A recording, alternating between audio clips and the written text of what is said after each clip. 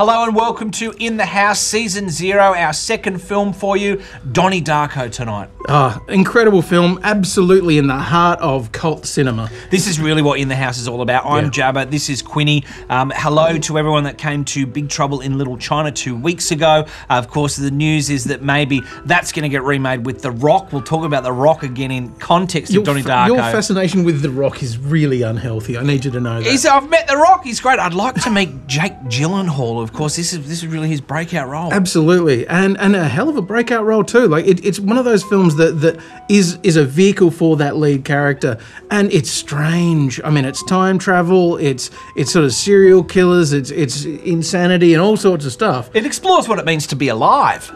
That, thank you. Yes, it does. It really does. Um, but almost didn't get made. The director, Richard Kelly, uh, was struggling to find any kind of financing for the film, and then went to Drew Barrymore, uh, showed her the script, and she said, "I will, I will help you fund this if I can play the character that she did." He showed her the script, she showed him the money, four and a half million dollars worth. They spent it all. When the film was released, it made half a million dollars back, so she was out of pocket four million. I'm pretty sure she's probably made it back now. $10 million in total Donnie Darko's made. Of Oh, course, it's the really? 15 year anniversary this year.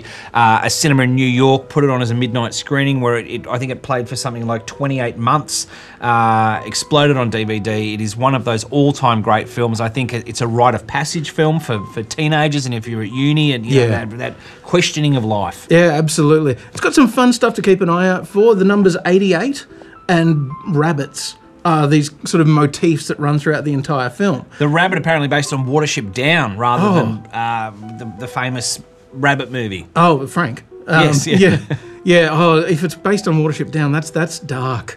That's dark. It's a scary film. Well, Donnie Darko, we're going to bring it to you right now. Quickly, The Rock, he was in uh, Richard Kelly's follow up to this, which was booed at Cannes. But That The was- Rock, if you're watching, if you're out there tonight, we love you.